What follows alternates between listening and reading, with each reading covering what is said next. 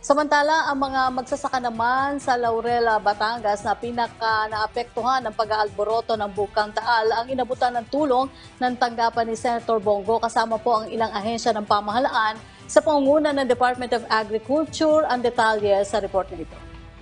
Nananatili pa rin ang Alert Level 2 sa Bulkang Taal na ibig sabihin, hindi pa rin bumababa ang banta ng posibleng pag-akyat ng magma na maaring magdulot ng magmatic eruption.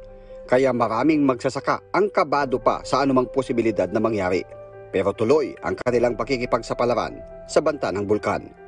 Sa mga kalamidad na dumating, pagputok ng bulkan at bagyo, hindi po nagulat o nan, nawalan ng pag-asa kaming mga taga-Laurel sapagkat ipinakita namin na kami ay nagkakaisa, nagtutulong-tulong upang makabangon kami. Lalo pa silang nabuhayan ng loob dahil sa patuloy na tulong ng Administrasyong Duterte sa kanila.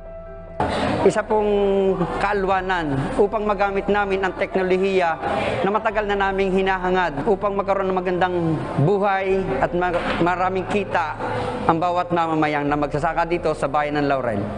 Pinangunahan ng tanggapan ni Senador Bongo ang pamamahagi ng tulong sa mga magsasaka sa Laurel, Batangas na patuloy na naapektuhan dahil sa banta ng pagsabog ng Bulkang Taal.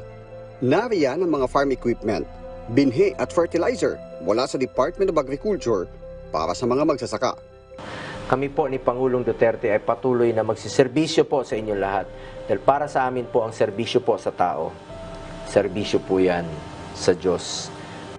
Ang tanggapan ni Go ay namahagi rin ng mga grocery pack, pagkain, mask at vitamins sa limandaang mga benepisyaryong magsasaka ng Laurel. Ngayon po namin naranasan ang buhos na biyaya ng ating gobyerno sa pangunguna ni ang ating ah, Presidente Duterte at Bongo sa ibinigay nila o inilunsad nilang programa dito sa bayan ng Laurel.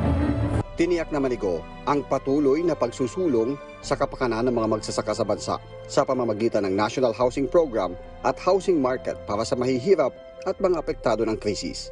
Mga kababayan ko, magtulungan lang po tayo. Tulungan niyo po kami ni Pangulong Duterte upang malampasan po natin itong krisis na ating kinakaharap.